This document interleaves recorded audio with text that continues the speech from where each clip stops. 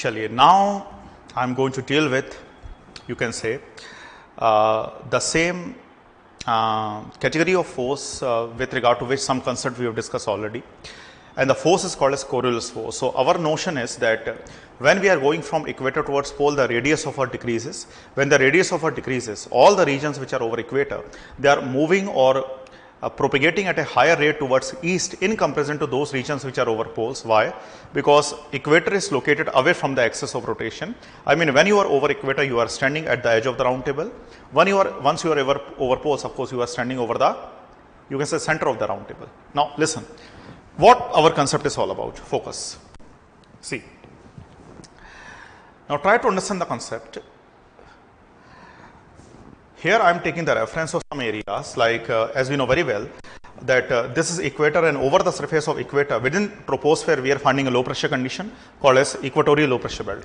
Then we have of course the subtropical high pressure belt, the subpolar low pressure belt and finally the polar high pressure belt. Now be very sure the earth is rotating from west to east, be very sure, agree. So every pressure belt is going to rotate with earth of course from west to east but the rate of rotation I mean the linear velocity of equatorial low pressure belt to move towards east would be much more to the linear velocity of subtropical high pressure belt to move towards east. Similarly, the linear velocity to move towards east of subtropical high pressure belt would be more to the linear velocity of subpolar low pressure belt to move towards east. Similarly, the linear velocity of subpolar low pressure belt would be more as compared to the linear velocity of polar high pressure belt to move towards where? East. I mean all the pressure belts with earth are rotating towards east. Why they are able to rotate towards east? Because of the gravitational attraction of earth. Since earth able to rotate in anti-clockwise manner, every area of earth from equator towards pole, it able to rotate towards east. But they are moving or rotating at different rate. To just to make you understand, I am taking a very simple example. केवल आपको समझाने के लिए ठीक है? मान लो over equator we are finding a low pressure area called is equatorial low pressure belt an equatorial low pressure belt is rotating towards east एक simple example है at the rate of ten kilometre per hour ठीक है? But when I compare equatorial low pressure belt with subtropical high pressure belt ठीक है? Then it able to rotate towards east but at less rate I mean less velocity linear velocity at eight kilometre per hour Similarly, when I take the regard of, of course, what subpolar low pressure belt, just to make you understand, to understand, it is rotating towards east, Manlo at 6 km per hour. And the polar high pressure belt, which is over poles, I mean near to axis of rotation, is rotating, take an example, at the rate of 4 km per hour. The reason is the radius of earth is decreasing from equator towards pole. I mean, when we are going from equator towards pole, let me tell you one more time, we are going from the edge of the round table to the center of the round table. And now the earth is rotating towards where? From west to east. I hope you got my point. But different climatic zones are rotating at different rate. Different high low pressure conditions are rotating at different rate. Now see. Now we know very well that winds always flow from the high pressure area to the low pressure area. तो wind को कैसा चलना चाहिए था? The wind has to flow from subtropical high pressure belt in both the hemisphere towards equatorial low pressure belt. Similarly, the wind has to flow from subtropical high pressure belt towards subpolar low pressure belt in both the hemisphere from high to low pressure. Here also, the wind has to flow from polar high pressure belt towards subpolar low pressure belt in both the hemisphere.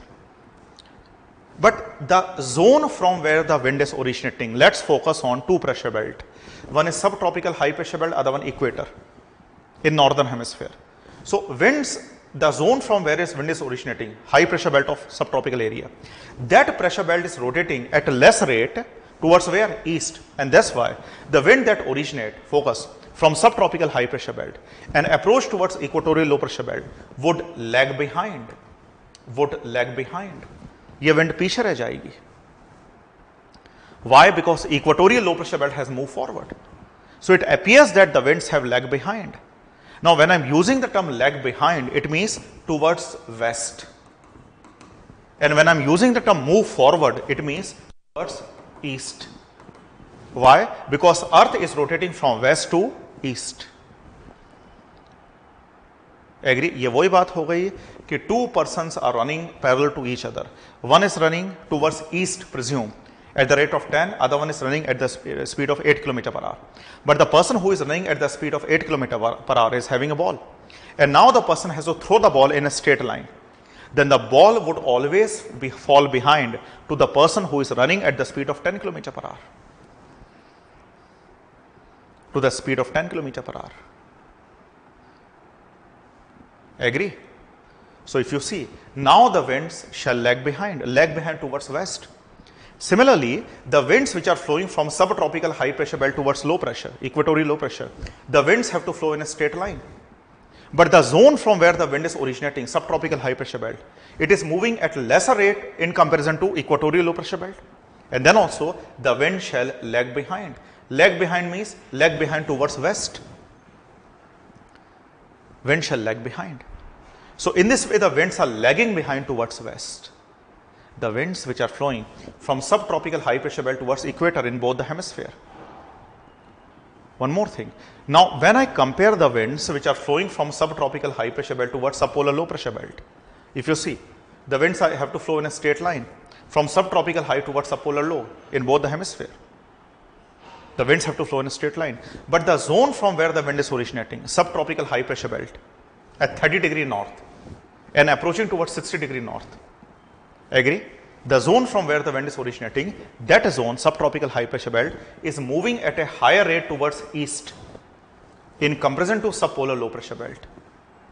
And that's why the wind shall move forward. When I'm using the term move forward, move forward means move forward towards where? East. Here also in southern hemisphere, winds have to flow in a straight line.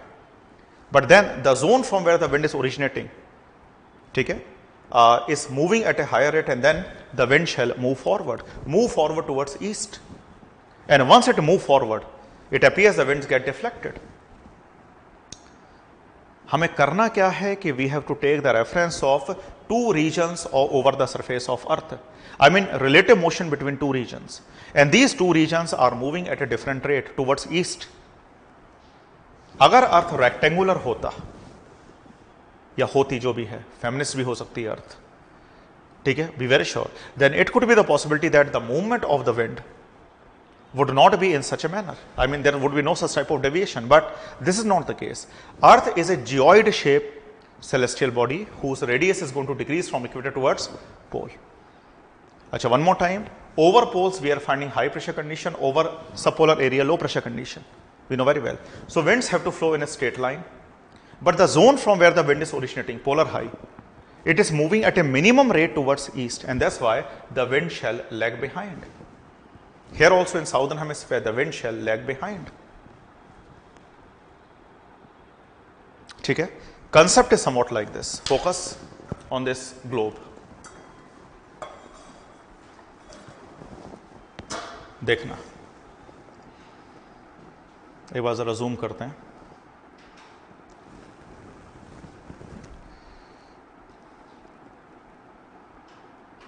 देखो।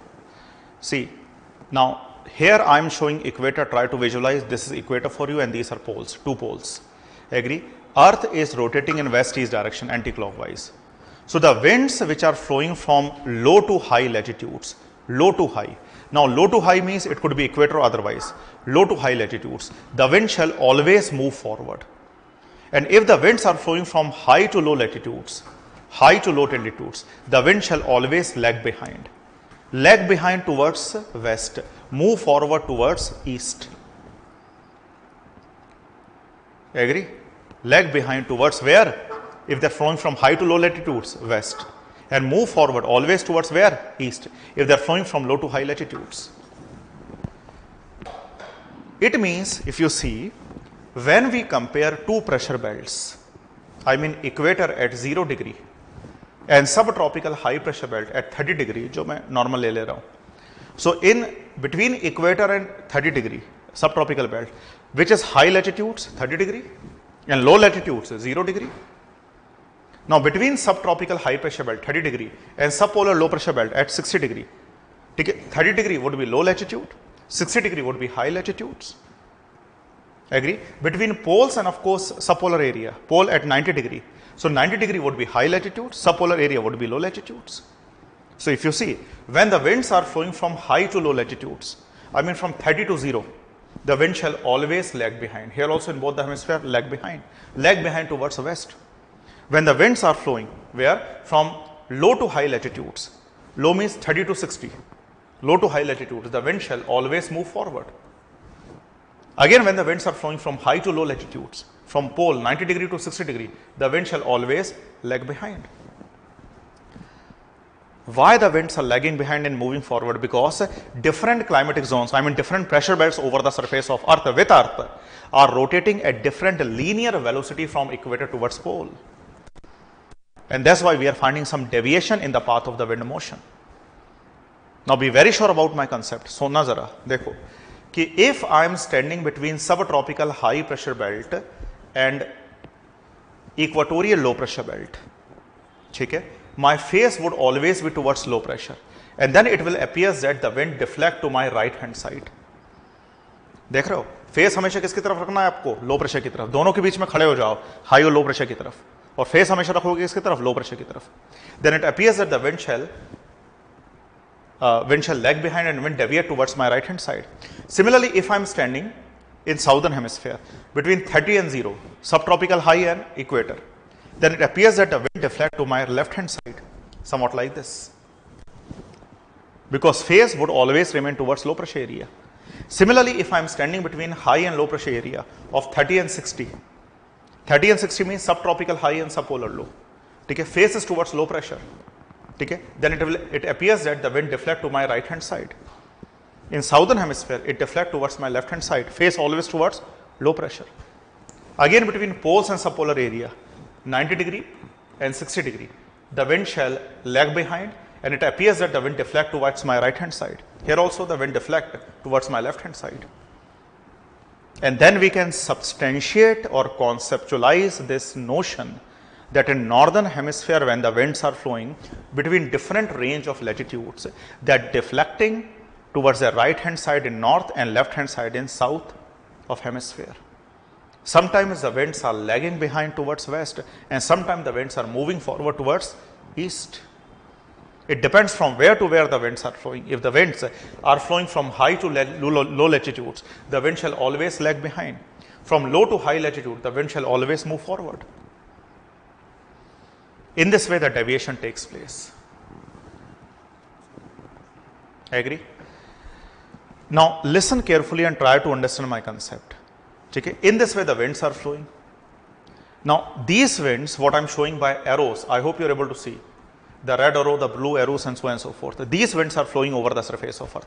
But if you see the direction of these winds, see, the winds are flowing from subtropical high towards equator in northern hemisphere. Their normal direction is from northeast to southwest. देखो यहाँ पर एक normal figure draw करो. This is north, this is south. Here we are showing west, and of course this one is east. Between north and east, we are finding which direction? Northeast. Between south and east, which direction? Southeast. Between south and west, which direction? Southwest. Between north and west, of course, which direction? Northwest. So, if you see the winds which are flowing from subtropical high pressure belt towards equator, equatorial low, their normal direction is from northeast to southwest. From northeast, somewhat like this, if you see northeast to southwest. And the winds which are flowing in southern hemisphere from subtropical high towards equator, its normal direction is from southeast to northwest, somewhat like this, southeast to northwest. So in northern hemisphere, the winds are flowing from northeast to southwest. In southern hemisphere, from southeast to northwest. Okay? Northeast, southeast, northeast, southeast. I mean, the winds are originating from northeast and southeast. In totality, we can say the winds are flowing from east to west.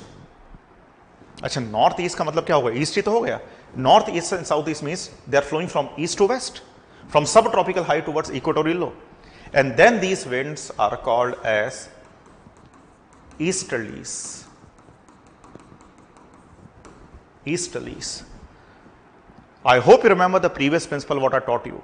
The direction from where the wind is originating the same name or nomenclature is given to the wind. The winds are called as what? Easterlies.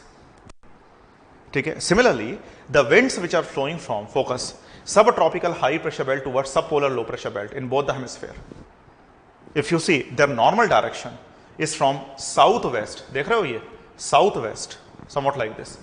Southwest to northeast and in southern hemisphere from northwest to southeast. I hope you are able to see. Northwest to southeast and southwest to northeast. So southwest to northeast in northern and northwest to southeast in southern. Southwest northwest. Originating from southwest northwest. Southwest northwest. In totality from where to where? From west to east. And then these winds which are flowing from west to east from subtropical high towards subpolar low are regarded as westerlies. Westerlies in both the hemisphere because the winds are flowing from west to east. At last, the winds which are flowing from polar high pressure belt and approaching towards subpolar low pressure belt. Okay? These winds from polar high to subpolar low pressure belt are again acquiring the same direction followed by easterlies. If you see the same direction. And now these winds are called as polar winds. Why polar? Because the winds are flowing from poles towards a polar area. They are also called as polar easterlies. Polar easterlies. Why polar easterlies? Because again their directions from east to west, just like normal easterlies. Now these normal easterlies are also known as trade winds. अच्छा trade इसलिए बोलते हैं क्योंकि पहले इनके through trade होता था when we are not having motorise ships so different type of trades वो take place of course with easterlies so that's are call trade winds one more time in northern hemisphere we are finding a trade wind if you see this trade wind which is moving from north east to south west is called as north east trade wind अब मैं ये हटा रहा हूँ, समझ जाना। The winds which are flowing from north east to south west in northern hemisphere is called as north east trade wind. पहले इनके थ्रू ट्रेड होता था। And the winds which are flowing in southern hemisphere from south east to north west if you see south east to north west the winds are called as south east trade wind so there are two trade winds over the surface of earth, which are flowing from subtropical high to equatorial low. And these winds are called as simply called as easterlies or trade winds. And again, there are two trade winds. One is northeast trade, other one southeast trade winds. If you see all these winds, I mean the easterlies, westerlies, polar winds or polar easterlies, they are flowing over the whole globe, over the whole planet, between some defined pressure belts. So these winds are permanent, they are persistent, they are perennial, flowing throughout the year, and they are planetary. Planetary means flowing over the whole planet. And subsequently, the winds which are flowing over the whole planet throughout the year in a particular direction on perennial basis, the winds are called as primary atmospheric circulation. So all these three winds, the easterlies, westerlies and polar winds are coming under the ambit of which circulation? Primary atmospheric circulation.